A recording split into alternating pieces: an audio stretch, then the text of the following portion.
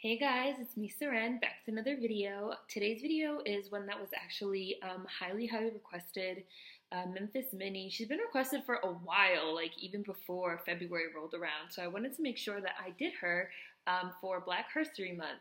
Lizzie Douglas, born June 3, 1897, died August 9, 1973, known as Memphis Minnie, was a blues guitarist, vocalist, and songwriter whose recording career lasted from the 1920s to the 1950s.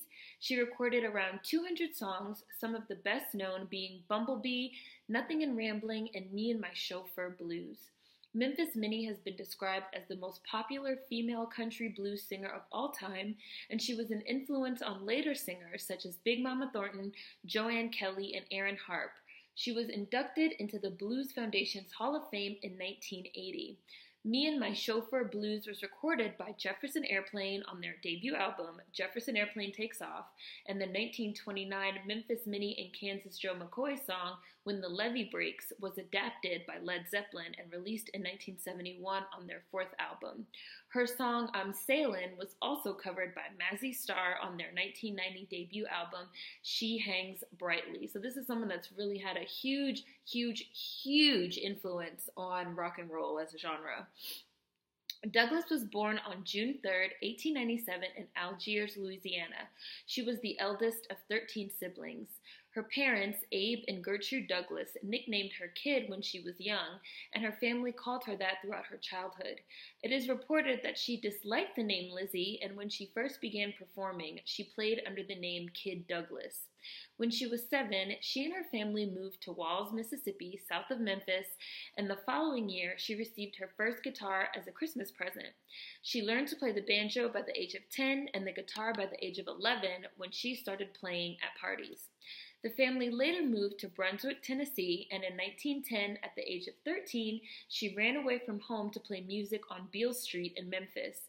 She performed on street corners for most of her teenage years, occasionally returning to her family's farm when she ran out of money, and her sidewalk performances led to a tour of the South with the Ringling Brothers Circus from 1916 to 1920. She then went back to Beale Street with its thriving blues scene and made her living by playing guitar and singing. She began performing with Joe McCoy, a Delta blues musician that she would later marry, in 1929. They were discovered by a talent scout for Columbia Records in front of a barber shop where they were playing for dimes, and she and McCoy went on to record in New York City, given the names Kansas Joe and Memphis Minnie by a Columbia A&R man.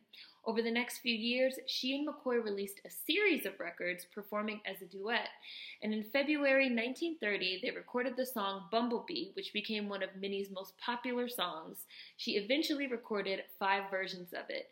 Minnie and McCoy continued to record together until September 1934 before divorcing in 1935. And it's also been reported that her professional career success was a huge part of their divorce, that Joe McCoy basically just couldn't take it. By 1935, Minnie was established in Chicago and beca- had become one of a group of musicians who worked regularly for the record producer and talent scout Lester M- Melrose. Back on her own after her divorce from McCoy, Minnie began to experiment with different styles and sounds. She recorded four sides for Bluebird Records in July 1934, returned to the Vocalion label in August, and then recorded another session for Bluebird in October, this time accompanied by Casey Bill Weldon.